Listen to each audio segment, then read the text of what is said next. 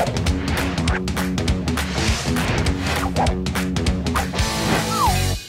Naša influence scena je danas veoma razvijena, a počela je da se širi pre nešto više od 10 godina. Mnogi od influencera su se razvijali i van društvenih mreža, pa je veliki broj njih pokrenuo svoje biznise, a neki su čak otišli i u svet pisane reči. U narednim minutima u novom izdanju emisije IDJ Tube News otkrivamo koji influenceri su rešili da se oprobaju i kao autori.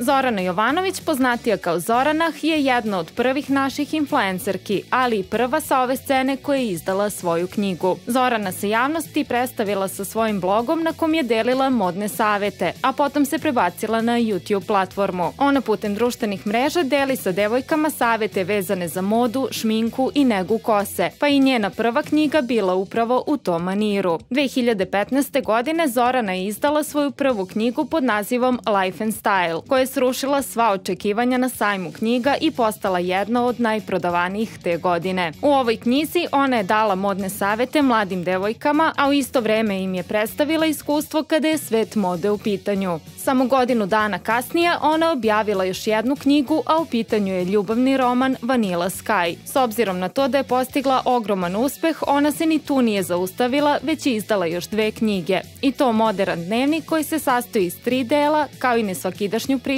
o travel blogerki.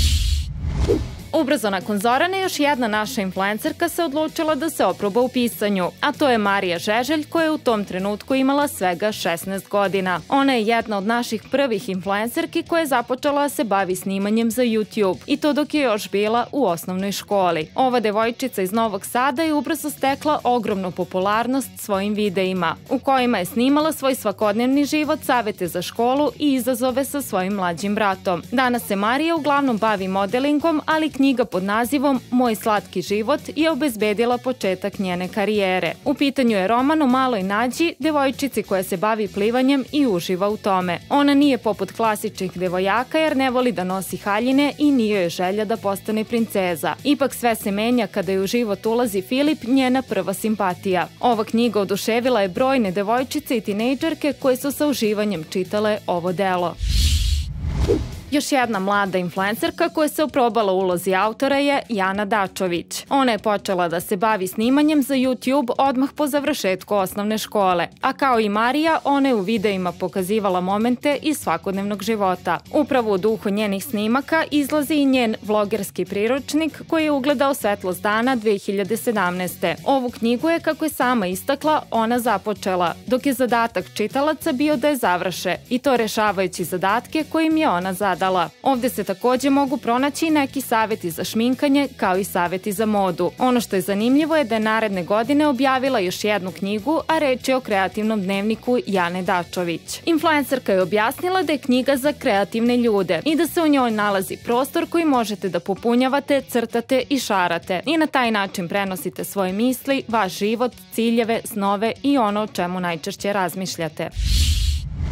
Lea Stanković je mlada influencerka koja se bavi modom i sa svojim pratiocima deli korisne modne savete. Pored toga, Lea je veliku popularnost stekla i svojim prepoznatljivim humorom. Ona je uz pomoć svojih prijatelja često snimala duhovite klipove za YouTube i pravila skečeve putem kojih ju je publika zavolela. Lea posjeduje prepoznatljiv stil koji je izgradila tokom godina, pa je upravo zbog toga želela da pomogne mladim devojkama i da one razviju svoj. I tako je nastala njena knjiga pod nazivom Iz izgradi svoj stil.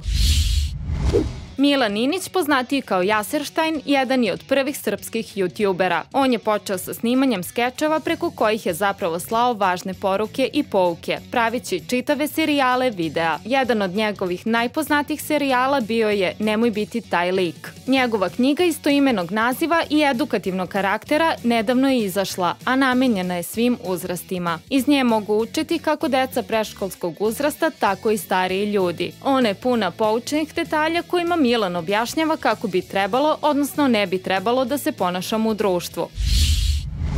Od svojih ranih početaka kao stilista garderobe, Kim Kardashian postala je jedna od najprepoznatljivijih ličnosti u Hollywoodu. Starleta i modna ikona godinama je gradila svoju uspešnu karijeru, a novac koji je zaradila uložila je u svoju liniju odeće, šminke i parfeme, a poznato je da ona 2015. godine objavila i svoju knjigu. S obzirom na to da se smatra začetnicom selfie pokreta, ona je odlučila da objavi knjigu pod imenom Selfish. Po prvi put u štampi ova knjiga predstavila je neke od njenih omiljenih selfija i pružila čitaocima pogled šta se dešava u životu ove zvezde. Međutim, iako Kim prati više od 300 miliona ljudi samo na Instagramu, prodaja nije tekla kako je ona zamislila, te je prodala samo 32.000 primeraka u prva tri meseca, iako je cena knjige tada iznosila svega 10 dolara.